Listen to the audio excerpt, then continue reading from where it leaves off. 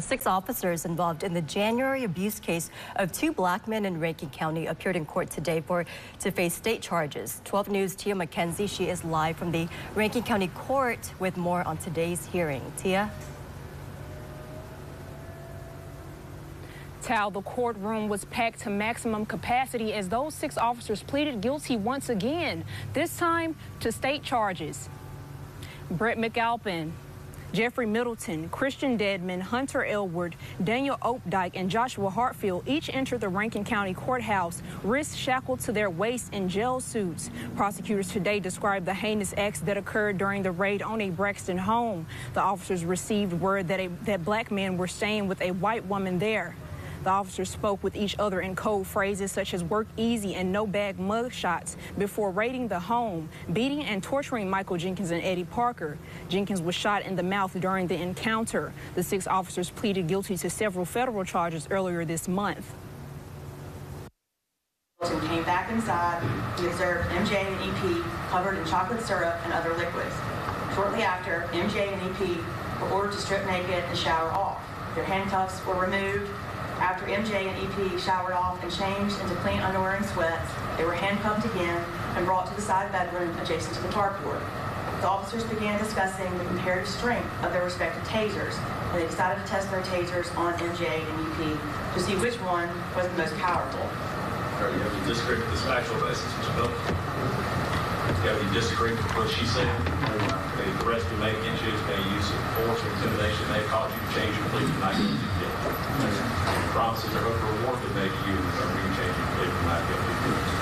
After speaking to your attorney, you want to decide to plead guilty. Tell the court you're freely and voluntarily admitting your guilty crime you're pleading guilty to, and you plead guilty to the charge. You understand the court's not bound by any plea bargain agreement to impose the maximum sentence here. You also understand that I accept your plea, you have no right to appeal. Rankin County Sheriff Bryan Bailey released a statement in in part, I believe today's guilty pleas show the community that our system of checks and balances is effective. As for those six officers, they are expected to be sentenced in mid-November. Live in Rankin County, Tia McKenzie, 12 News.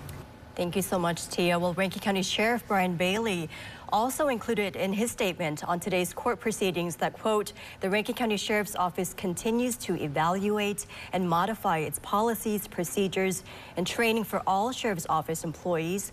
We have asked for assistance from outside agencies and contracted with outside firms to evaluate us, make recommendations, and conduct training. He adds there these actions are taken to prevent anything like January's tragedy from ever happening again, end quote. And one of the people attending today's hearing was one of the abuse victims himself. Eddie Parker is one of the plaintiffs in a $400 million civil suit filed against the officers. Parker and attorney Trent Walker spoke with 12 News this morning.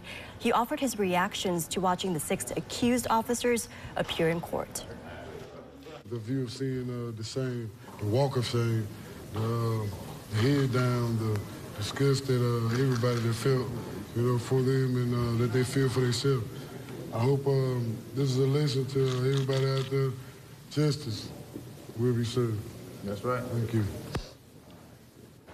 And stay with 12 News as we'll have much more from today's court action and public sentiment about the case in our afternoon and evening newscasts.